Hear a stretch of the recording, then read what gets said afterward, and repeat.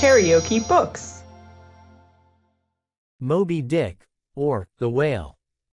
Herman Melville. Audiobook. Chapter 77 The Great Heidelberg Tun. Now comes the bailing of the case. But to comprehend it aright, you must know something of the curious internal structure of the thing operated upon.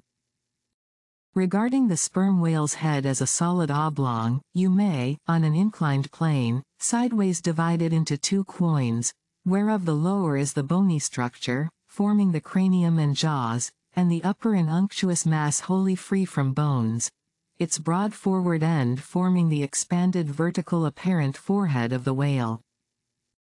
At the middle of the forehead horizontally subdivide this upper quoin, and then you have two almost equal parts, which before were naturally divided by an internal wall of a thick tendinous substance. Quoin is not a Euclidean term. It belongs to the pure nautical mathematics. I know not that it has been defined before.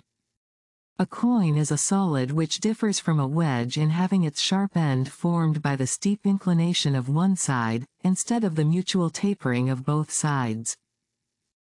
The lower subdivided part, called the junk, is one immense honeycomb of oil, formed by the crossing and recrossing, into 10,000 infiltrated cells, of tough elastic white fibers throughout its whole extent. The upper part, known as the case, may be regarded as the great Heidelberg tun of the sperm whale. And as that famous great tierce is mystically carved in front, so the whale's vast plated forehead forms innumerable strange devices for the emblematical adornment of his wondrous tun. Moreover, as that of Heidelberg was always replenished with the most excellent of the wines of the Rhenish valleys, so the tun of the whale contains by far the most precious of all his oily vintages, namely, the highly prized spermaceti, in its absolutely pure, limpid, and odoriferous state.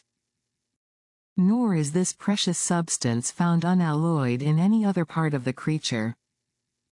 Though in life it remains perfectly fluid, yet, upon exposure to the air, after death, it soon begins to concrete, sending forth beautiful crystalline shoots, as when the first thin delicate ice is just forming in water.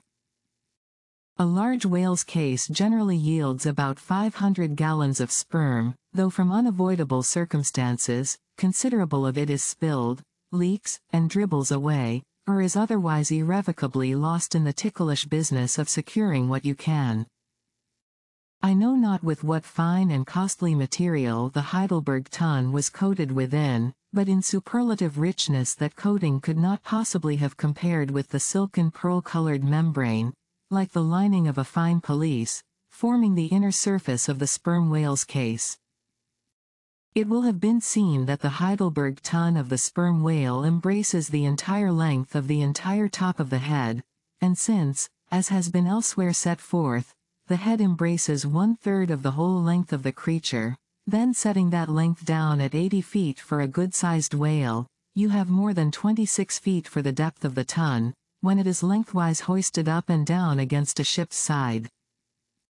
As in decapitating the whale, the operator's instrument is brought close to the spot where an entrance is subsequently forced into the spermaceti magazine, he has, therefore, to be uncommonly heedful, lest a careless, untimely stroke should invade the sanctuary and wastingly let out its invaluable contents. It is this decapitated end of the head, also, which is at last elevated out of the water, and retained in that position by the enormous cutting tackles, whose hempen combinations, on one side, make quite a wilderness of ropes in that quarter.